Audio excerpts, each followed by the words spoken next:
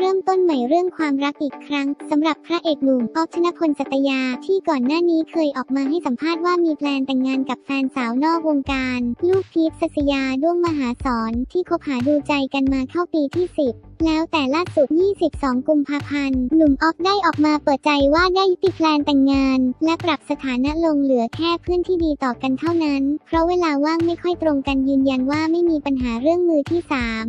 โดยออฟชนพลเผยว่าตอนนี้ใช้คำว่าปรับสถานะลงเป็นการพูดคุยกันด้วยความเข้าใจ ด้วยหน้าที่อะไรหลาย ๆ อย่างของทั้งคู่ทำให้มีเวลาเจอกันน้อยมาก คุยกันน้อยลงก็เป็นเพื่อนที่ดีต่อกันยังสามารถคุยเรื่องงานกันได้ยังคุยปรึกษาเรื่องงานกันได้อยู่ ตอนนี้ก็เป็นเพื่อนที่ดีต่อกัน คุยกันได้รับงานให้กันได้ ยืนยันว่าไม่มีเรื่องมือที่ สามมันไม่มีอะไรทั้งนั้นไม่ได้เกี่ยวกับใครเลย เป็นการพูดคุยปรับความเข้าใจระหว่างคนสองคน จะรักจะชอบจะปรับสถานะมันเป็นเรื่องของคนสองคน ส่วนประเด็นที่คนมองว่าดูสนิทสนมกับฮาน่าลีวิสนั้นตอนนี้ตนอยู่ในสถานะที่ใช้คำว่าโสดก็ได้ ก็ไม่ได้ทำผิดกฎอะไรตนสามารถศึกษาดูใจใครก็ได้ที่สามารถเข้าใจเรา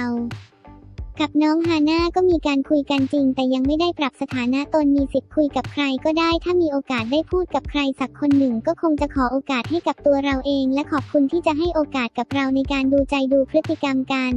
ส่วนจะขยับเป็นคนพิเศษได้ไหมตนยังตอบไม่ได้เราจะพูดได้ก็ต่อเมื่อปรับสถานะจริง ๆ ตนไม่อยากพูดอะไรไปพัวพันถึงน้องเขา เพราะมันจะเกิดความเสียหาย